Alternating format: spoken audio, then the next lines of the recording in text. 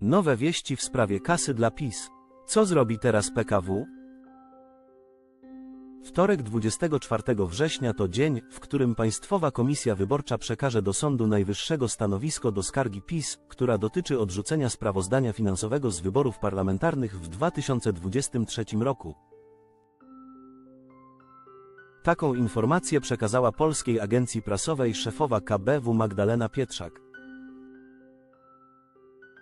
Według informacji uzyskanych przez PAP, stanowisko PKW nie zostanie skierowane bezpośrednio do Izby Kontroli Nadzwyczajnej SN dlatego, że są wątpliwości co do jej statusu.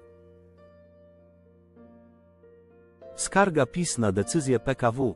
Ważą się losy wielkiej kasy dla partii Kaczyńskiego. PKW odrzuciła pod koniec sierpnia sprawozdanie finansowe Komitetu Wyborczego PiS z wyborów parlamentarnych 2023 roku. Konsekwencją decyzji PKW jest obniżenie dla PiS tzw. Tak dotacji podmiotowej, która przysługuje za każdy uzyskany w wyborach mandat parlamentarzysty. Chodzi o trzykrotność kwoty przyjętej niezgodnie z prawem. W tym wypadku jest to 10,8 miliona złotych. Dotacja dla PiS zmaleje więc o ponad 10 milionów złotych. Jeśli chodzi o subwencję wypłacaną co roku dla partii politycznych, PiS może utracić o wiele więcej pieniędzy. PiS złożyło na tę decyzję skargę.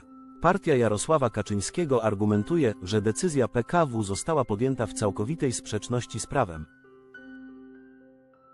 Natomiast jeśli SN uzna tę skargę za zasadną, to wtedy PKW postanowi o przyjęciu sprawozdania finansowego. Skargę będzie rozpatrywać nieuznawana przez międzynarodowe trybunały Izba Kontroli Nadzwyczajnej i Spraw Publicznych Sądu Najwyższego. Nie wiadomo więc w jaki sposób zostanie potraktowane jej orzeczenie. Politycy obozu rządzącego sugerowali, że decyzja PKW powinna pozostać w mocy, dopóki nie podważy jej taki sąd, którego status jest niekwestionowany.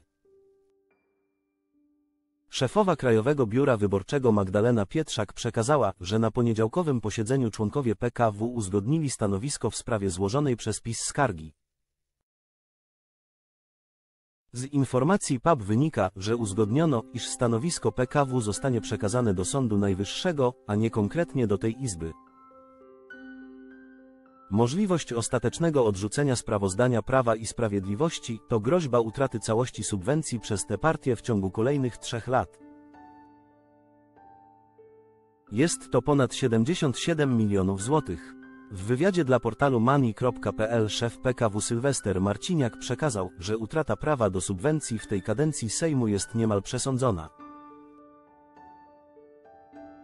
Jest bardzo prawdopodobne, że PKW zajmie się sprawozdaniem PiS za 2023 rok na początku października.